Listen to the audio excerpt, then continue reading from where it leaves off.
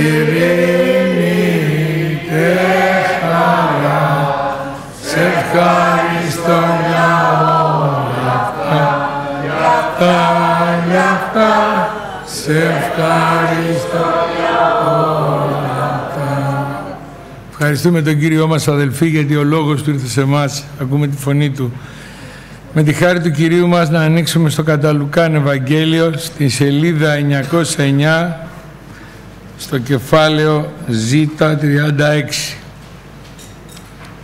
909 κάτω δεξιά 36 εδάφιο. Παρεκάλει δε αυτόν εις εκ των Φαρισαίων να φάγει μετά αυτού και εισελθώνει στην οικία του Φαρισαίου εκάθισε στην τράπεζα και ειδού γινή της εν την πόλη ή της ή αμαρτωλή μαθούσα ότι κάθεται στην τράπεζα εν την οικία του Φαρισαίου έφερε ένα λάβαστρο μύρο και σταθήσα πλησίον των ποδών αυτού ο πίσω κλαίουσα ήρχισε να βρέχει τους πόδας αυτού με τα δάκρυα και εσπόγγιζε με τα στρίχα της κεφαλής αυτής και κατεφύλει τους πόδας αυτού και ήλυφε με το μύρον. Ιδών δε ο Φαρισαίος, ο καλέσας αυτόν, είπε καθε αυτόν λέγον ούτως αν το προφήτης ήθελε γνωρίζει της και οποία είναι υγιεινή ή της αγγίζει αυτόν ότι είναι αμαρτωλή. Και αποκριθείς ο Ιησούς είπε προς αυτόν Σίμων έχω να σοι είπω τι. Ο δε λέγει διδάσκαλε είπε είχε της δανειστής δύο φιλέτας. Ο εις εχρεώστη δινάρια πεντακόσια, ο δε άλλος πεντήκοντα. Και επειδή δεν είχαν να αποδώσουν η εχάριση εις αυτά εις αμφότερους. Τι λοιπόν εξ αυτών είπε θέλει αγαπήσει αυτόν περισσότερο; Αποκριθείς δε ο Σίμων είπε νομίζω ότι εκείνος στον οποίο εχάρισε το περισσότερο.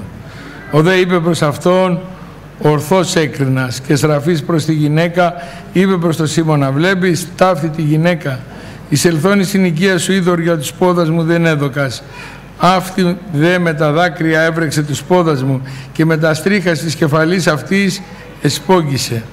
Φίλημα δεν μου έδωκας, αυτή αφήση ίση σύλθον δεν έβαυσε καταφυλούσα τους πόδας μου. Με έλεον την κεφαλή μου δεν έλειψες. Αυτή δε με μύρον έλειψε τους πόδας μου. Δια τούτο σου λέγω συγκεχωρημένοι είναι οι αμαρτίες αυτές επολέ διότι αγάπησε πολύ. Ισότινα δε συγχωρεί το λίγον ο λίγον αγαπά.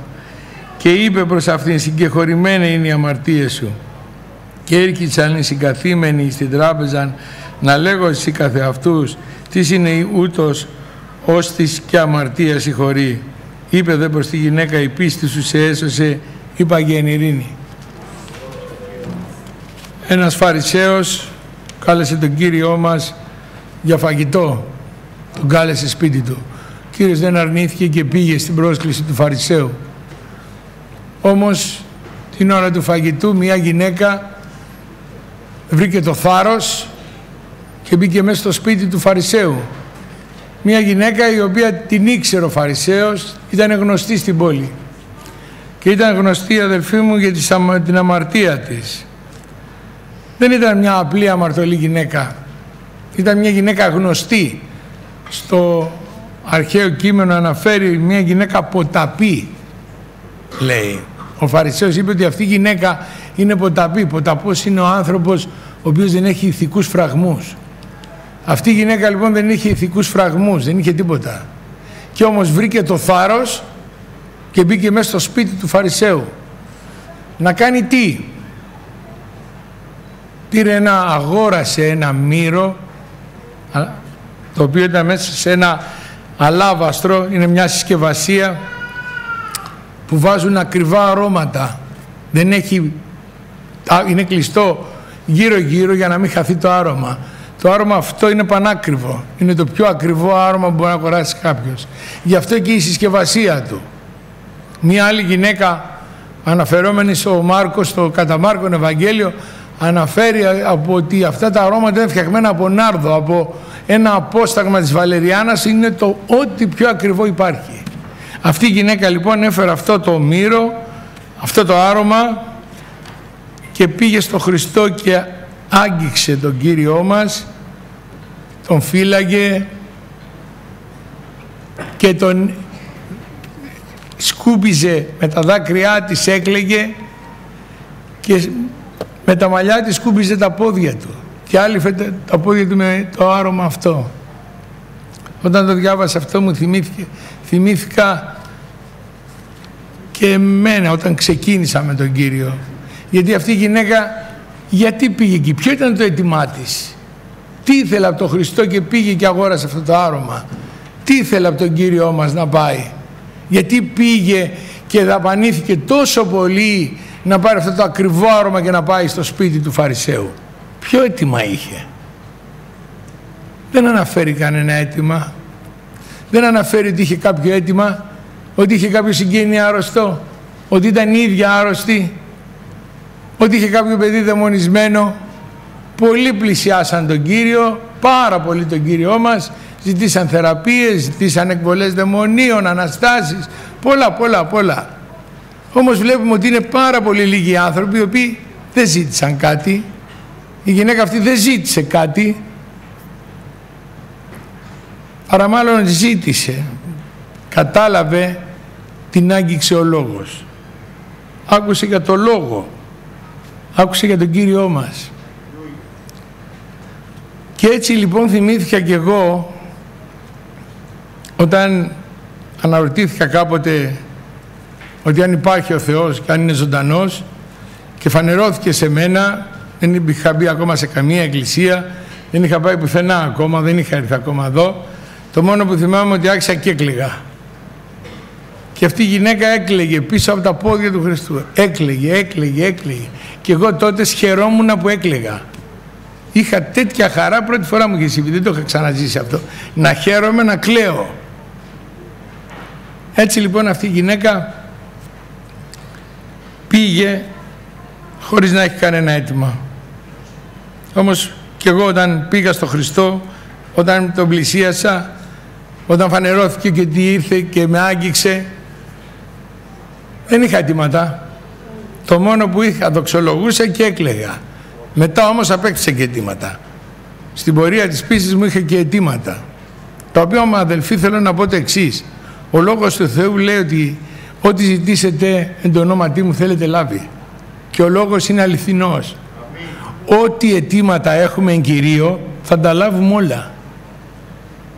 Όλα τα αιτήματα θα απαντηθούν αδερφοί. Δεν υπάρχει αίτημα το οποίο δεν θα απαντήσει ο Κύριος μας γιατί είναι γραμμένος στο λόγο του. Το ζήτημα είναι καμιά φορά να αργιόμουν πότε. Πότε θα απαντήσει αυτό. Πότε θα έρθει η γυναίκα μου, πότε θα έρθει το παιδί μου, πότε θα πάρει θεραπεία μου, πότε εκείνο. Διάφορα αιτήματα έχουμε όλοι. Πότε θα γίνει αυτό. Και μου ήρθε τότε μια σκέψη με τη μάνα μου η οποία έλεγε ότι όταν έβριζα το Θεό και όταν ήμουν πολύ μακριά και την κορόιδευα για την πίστη της έλεγε Θεέ μου αυτός ο σταυρός που μου δείχνεις και έδειχνε εμένα. Σε παρακαλώ κάνε κάτι γι' αυτό μην αφήσεις το παιδί μου η μάνα μου πέθανε. Το αίτημά της όμως το έλαβε. Όταν λοιπόν ήρθα στην εκκλησία και με είδανε οι συγγενείς με ένα Ευαγγέλιο στα χέρια η πρώτη κουβέντα που είπαν είναι πού είναι η μάνα σου να σε δει τώρα; Ο Αβραάμ αδελφοί μου όταν του είπε ο Θεός ότι το σπέρμα σου θα είναι όπως η άμμος δεν είδε καμία άμμο, πέθανε. Όμως το έτοιμά του έγινε. Αυτό που του είπε ο Θεός έγινε. Εμείς θα πρέπει να μείνουμε σταθεροί. Θα πρέπει να μείνουμε σταθεροί ότι ο Θεός δεν μπορεί να έχουμε αγωνία μέσα μας όπως ακούσαμε και πριν ότι για το τι θα συμβεί. Γιατί καμιά φορά αν δεν παίρνω το έτοιμά μου φταίω εγώ Καμιά φορά γίνομαι και εγώ αιτία που δεν παίρνω το έτοιμά μου. Εγώ φταίω. Ο Θεός είναι απείραστος κακό. Ο Θεός θέλει να ευλογήσει τον κάθε άνθρωπο. Και προσωποληψία δεν υπάρχει σε Αυτόν. Θέλει να μας ευλογήσει όλους. Το ζήτημα είναι το ερώτημα που είχα μέσα μου είναι εσύ Νίκο θέλεις να σε ευλογήσει; Όταν μπήκα σε αυτή την εκκλησία μέσα αυτό που άκουσα πρώτη φορά και με συνετάραξε ήταν μια απλή κουβέντα από αυτόν τον άμμονα από εδώ. Θέλετε ο Θεός να σας ευλογεί, να σας ευλογήσει. Και τότε σφώναξα μέσα μου όλη μου τη δύναμη και είπα ναι Κύριε θέλω. Αυτό το θέλω Κύριε να με ευλογήσεις. Χωρίς να κάνω κάτι, χωρίς να μπω μπροστά. Να τον αφήσω να οδηγήσει τη ζωή μου. και θα τα καταφέρει. Θα τα κάνει. Δεν είναι τίποτα δυνατό στο Θεό. Να μην έχω αγωνία. Τι θα γίνει αυτό, τι θα γίνει. Όλα τα αιτήματα θα απαντηθούν. Και στη γραφή μέσα θα δούμε ανθρώπους οι οποίοι πέθαναν και το αίτημά τους δόθηκε. Αυτή λοιπόν η γυναίκα έκανε εντύπωση στον Κύριό μας πάρα πολύ γιατί έδωσε στο Φαρισαίο να καταλάβει ότι τελικά ο Φαρισαίος δεν τον αγαπούσε τόσο. Δεν είχε δαπανηθεί ο Φαρισαίος γι' αυτό. Ίσως τον είχε καλέσει σπίτι του για να μάθει κάτι, για να δει, για να τον τσεκάρει, για οτιδήποτε άλλους λόγους. Γιατί ο Κύριος μας του λέει ούτε με μου έδωσες νερό, ούτε τα, για τα πόδια μου, ούτε για το κεφάλι μου, ούτε τίποτα, τίποτα. Ούτε φίλημα δεν μου έδωκες τίποτα. Η γυναίκα όμως αυτή είναι συγκεχωρημένες οι αμαρτίες της γιατί; Γιατί αγάπησε τον Χριστό. Και η αγάπη είναι ένα άλλο μεγάλο κεφάλαιο αδερφοί στη ζωή μας. Στον κόσμο υπάρχουν πολλές αγάπες. Υπάρχουν πάρα πολλές αγάπες. Όμως ποια είναι η πραγματική αγάπη, ποια είναι η αληθινή αγάπη; Μία είναι ή μια αγάπη στην οποία αγαπάω τον Κύριό μου γιατί προσμένω κάτι, θέλω να λάβω κάτι, μήπως αγαπάω επειδή φοβάμαι, μήπως έχω ένα φόβο μέσα μου, πως πάω στην κόλαση και τον αγαπάω, θα με σκοτώσει αλλιώς. Αυτό δεν είναι αγάπη, είναι σύνδρομο, είναι αρρώστια. Η καθαρή αγάπη είναι ότι δεν προσμένω τίποτα. Δεν προσμένω τίποτα. Σε αγαπάω για αυτό που είσαι και μόνο. Αυτή η γυναίκα δεν είχε έτοιμα αδελφοί μου. Ένα έτοιμα είχε. Που μας το λέει ο Κύριος ότι η πίστη σου έσωσε. Ήθελε να σώσει την ψυχή της. Και εμείς πλησιάσαμε τον Χριστό αδελφοί. Όταν πλησίασα τον Χριστό δεν είχα, η ζωή μου ήταν μια χαρά. Δεν είχα προβλήματα. Δεν είχα τίποτα. Μια χαρά ήμουνα. Και υγεία και παιδιά και τα πάντα. Καλοπερνάγαμε. Μια ζωή τέλεια. Και άρχισα και έκλαιγα. Γιατί, γιατί η ψυχή μου ήταν σε μεγάλο κίνδυνο. Και αυτό είναι το έτοιμά μας αδελφοί. Ένα έτοιμο έχουμε. Να πάμε στη Βασιλεία των Ουρανών. Δεν υπάρχουν άλλα αιτήματα. Όλα τα άλλα τα αιτήματα είναι για εδώ. Το αίτημά μας είναι να δούμε τον Κύριο καθώς είναι αλλά να αγαπήσουμε αδελφοί μου τον Χριστό είναι δύσκολη η λέξη καμιά φορά ακούω αγαπάς τον Κύριο και φοβάμαι να πω ναι φοβάμαι αδελφοί γιατί όσες φορές με δοκίμασε ήμουν ελπής αγάπης θα σας πω μόνο κάποτε ε, μια πρωτοχρονιά ότι είχα πρωτογίνει διάκονος και μου είχε δώσει ο αδελφός ο Μιχάλης μια εργασία να κάνω στην εκκλησία να πάω να στρώσω 10 τραπέζια γιατί ήταν πρωτοχρονιά με ωραία λουλούδια, με τραπεζομάντιλα για να έρθουν οι αδελφοί μου να φάνε. Εγώ λοιπόν ξεκίνησα, ήμουν πάρα πολύ χαρούμενος, μπήκα στο αυτοκίνητό μου, έβαλα δυνατά τους ψαλμούς, χαιρόμουν, έλεγα πόσο σε ευχαριστώ Κύριε που είμαι σε αυτή την κατάσταση, δεν είμαι και σε ορισμένους ανθρώπους που είναι στο σκοτάδι. Εγώ είμαι σε πολύ καλύτερη. Και όπως ήμουνα σε μια έτσι ευχαριστία, ερχόμουν να κάνω το θέλημα του Κυρίου. Όμως ο Θεός ήθελε άλλα σχέδια εκείνη την πρωτοχρονιά. Και στον δρόμο που πήγαινα είδα ένα μαύρο πράγμα από μακριά. Λέω τι είναι αυτός, σκύλος είναι, τι είναι αυτό, τι είναι αυτό. Πάω ήταν άνθρωπος. Τρώμαξα, λέω εγώ έχω δουλειά στην εκκλησία, τι δουλειά έχω τώρα με αυτό το πράγμα; Τι είναι τώρα αυτό; Σταμάτησα όμως, δεν μπορούσα, δεν τόλμησα να φύγω, σταμάτησα. Τον είχαν χτυπήσει, ήταν με τα εσώρουχά του ένας ε, άντρας. Έτρεμε από το κρύο, ήμουν όλη νύχτα, 1η Ιανουαρίου. Κρύο. Και τον είχαν ληστέψει. Το μόνο που έκανα εκείνη την ώρα, δεν γιατί να μου συμβεί σε μένα αυτό και τι θα πάω να πω μετά στα αδέλφια μου στην εκκλησία, δεν πάω να κάνω δουλειά, έμπλεξα. Έμπλεξα. Έχω μπλέξει τώρα. Τον έβγαλα μια φωτογραφία, δύο φωτογραφίες. Α, πήρα τηλέφωνο το 166, την αστυνομία. Λέω μην ανησυχείς, θα γίνουν όλα. Καθόμουν από πάνω του, του έδινα παρηγορητικούς λόγους. Μην στεναχωριέσαι και που κρυώνεις σε λίγο θα έρθει το 166 σε πάρει. Σταματάει ένα άλλο αυτοκίνητο όμως και κατεβαίνουν δύο άλλοι οι οποίοι ο ένας έβγαλε το μπουφάν του του τύλιξε τα πόδια τη γύμνια του ο άλλος έβγαλε το άλλο το μπουφάν τον αγκάλιασε του είπαν αδελφέ μου κρυώνεις εγώ εκείνη την ώρα πάγωσα αδελφέ κατάλαβα το που ήμουνα το ποια είναι η αγάπη μου στο Θεό εκείνη την ώρα τρόμαξα. Όμως με γυρίσαν και με κοιτάξανε. Αυτή είναι από άλλη εκκλησία. Δεν είναι από τη δικιά μας. Και να σας πω δεν ορθοτομούν το λόγο όπως εμείς όμως το μπουφάν το βγάλανε. Τον αγκαλιάσανε το εγώ το δικό μου το μπουφάν δεν το βγάζα, ήταν και ακριβό μπουφάν, καθαρό. Σιγά μου το βάλω τώρα κάτω. Δεν το βγάζα εκείνη την ώρα, γιατί να το βγάλω; Για ένα μπουφάν θα είχα τον ουρανό αδελφοί, για ένα μπουφάν. Ενώ ήμουν μέσα στην καλή χαρά, έτρεχα στο έργο του Χριστού και γύρισαν και μου λένε χριστιανός είσαι. Με πιάζει και εγωισμός βέβαια λέω. Εσείς τι είστε. Μου λέει εμείς είμαστε παιδικοστιανοί. Λέω και εγώ λέω. Γέλασα. Σιγά, είμαι και διάκονος λέω. Τι να, μου, τι να μου πείτε. Έφτασα σε αυτό το σημείο αδελφοί. Εκεί λοιπόν μου έδειξε ο Θεός ότι ποια, ποια αγάπη συζητάμε. Για ποια αγάπη. Πώς θα αγαπήσω τον Χριστό αδελφοί. Είναι δύσκολη η υπόθεση. Τον παρακάλεσα μετά να τα διορθώσει όλα. Μου φέρε άλλες δύο περιπτώσεις τέτοιες. Την μία φάνηκα δόκιμος και στην άλλη ξανά πέσα. Τρεις φορές μου έχει τύχει. Όμως αυτό ήταν ένα μεγάλο μάθημα για τη σημασία. Δεν έχει τι λέμε. Σημασία δεν έχει πόσο προσευχηθήκαμε. Σημασία δεν έχει τι ακούσαμε. Σημασία δεν έχει τι ορθοτομήσαμε. Σημασία έχει τι κάναμε. Το έκανα. Αν ο λόγος δεν, δεν γίνει πράξη, τι ελπίδες έχω να λέω ότι σας αγαπάω.